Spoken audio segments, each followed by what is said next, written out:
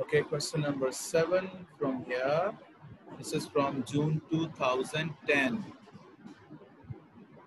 Okay, so I will be marking this area. Okay, now first part, there is no part where you have to write the equation. So no problem. So now let's split this. I can use this area. Uh, this is going to be dx over cos square x. And that is dt over e raised to power 2t okay? So I will make this rather because I know that 1 over cos square x is secant square x. And we can integrate it. And I will write it as e raised to power minus 2t dt. So now this is just going to be uh, the easiest kind of uh, integration here. So this becomes uh, tan x, this is your tan x, that is e raised to power minus 2t over minus 2, and then plus c. We have been given these values here, t0, x0, let's put that. Tan 0 is 0, and e raised to 0 is 1. This is 1. This is 1 over minus 2 plus c. So c is going to be equal to half. So finally, this equation is going to be, uh, now this is going to be tan x that is equal to minus 1 over 2 e raised to 2t and then plus half. Now we need x in terms of t. So when we need x in terms of t, so then let me just write it as tan x that is half into 1 minus uh, e raised to power minus 2t. And this x is going to be the inverse of this tan half into 1 minus e raised to power minus 2. That is the answer to the first part. Okay, for the second part, uh, you have to remember that um, if you have um, e raised to power x, the sketch is like this. Like suppose this is e raised power 2t. So when time is going to go to infinity, so this is, let's this is y is equal to e raised power 2t. So y is also going to the infinity, okay?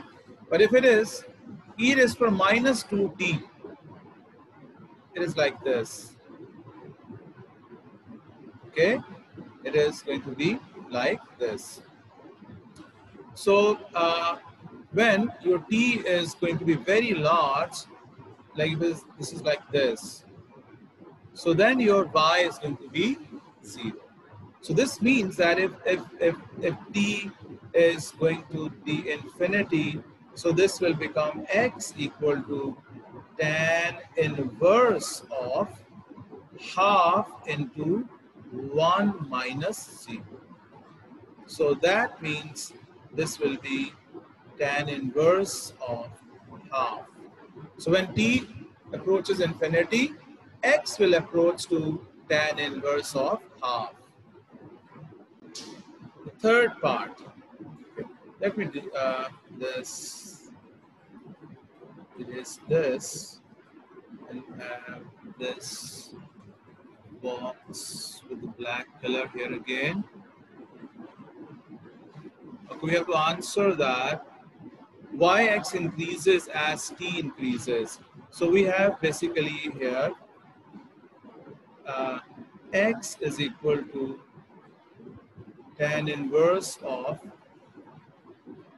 half minus 1 over 2 e raised to power minus 2t. We have something like this, okay? So, uh, for example, if you have uh, tan x that is equal to 1. So x is tan inverse of 1.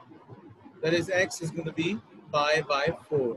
So x is that angle at which the value is going to go to 1. Okay, so it says yx increases as t increases. When your t is going to go from uh, 0 to infinity, okay, And it goes from 0 to infinity.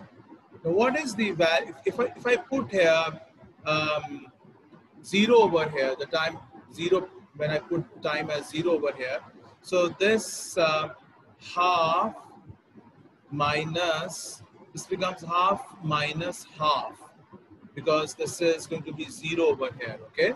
So what is tan inverse of 0? That is going to be 0, okay? So this x is going to be equal to 0. And what if when you put this t to be infinity, so what was your x?